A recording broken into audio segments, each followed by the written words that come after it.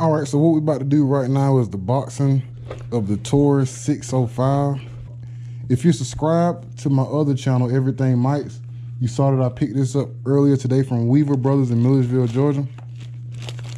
I got the black one. Pull out some of the stuff that's in here. Pull out everything before we get started. All right, first off, Weaver Brothers gave us a couple free earplugs. I'm just gonna put these to the side. Appreciate them for doing that. I was gonna pay for them. I grabbed them. He told me I can go ahead and leave with them. Um, the guy, his actual name is Jeremiah. Real cool dude. Um, I'll definitely be shopping with him again in the future. All right, so some of the first uh, some of the first things that I noticed about this Taurus 605 um, that the guy was telling me is that it come with these keys, and what these keys are is they're basically a child safety lock um, for the hammer on the revolver. If I can get this bag open. These keys are safety lock. So from my understanding, if I put this on and turn it all the way to the right, you can't cock it all the way back. You can't shoot it. Um, but if you turn it back to the left, make sure y'all can see that. If you turn it back to the left, I can now cock it again and all that good stuff. Um, I do know that nothing's in here. I, I, just bought it brand new. I open it up. As you can see, there is absolutely nothing in here. Uh, let's go ahead and open it up. Take this plate off. Um, as you see, it holds five shots. Um, everything's pretty much straightforward. I think it's a two and a quarter inch barrel, pretty short. The pistol, for the most part, has great balance. It feels good in my hand. Um, as you all know, Taurus comes with a lifetime warranty. So that's one of the main reasons that I got it. Um, another reason that I got it was because I originally saw this pistol at Classic Firearms in Macon, Georgia. They had it on sale for 270 but the one that I wanted ended up being sold.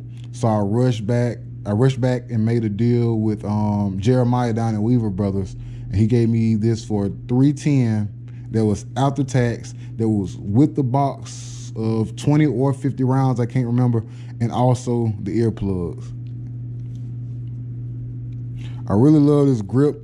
It feels pretty good. Feels real good. I like the way that the sights are built into the gun.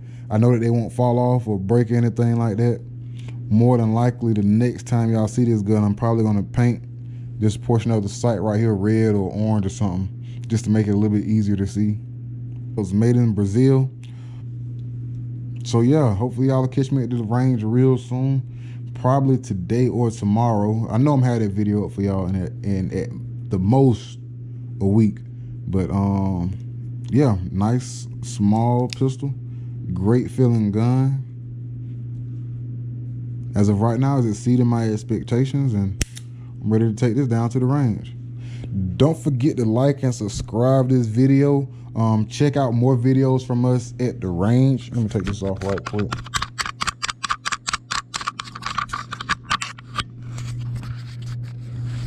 I got this weird mount on for my GoPro. Don't forget to um, like and subscribe the channel, Lord of the Range. Go to my other channels, my music channel and all that stuff. Um, if you follow my other channels, you've seen that I did a video this morning that kind of talked about this gun here and it shows me going to actually pick it up. Um, talks about some of the background check stuff and things that I went through. And later on, I will also be doing a video on my music page. I just left the studio before I did this video. I'm going to upload that today. That's going to be on my Clean by Mansa Studios as well as my Everything Mikes page. So make sure you like, subscribe, hit the notification bell and all that good stuff for all three of my channels. And um, I'll see y'all at the range soon.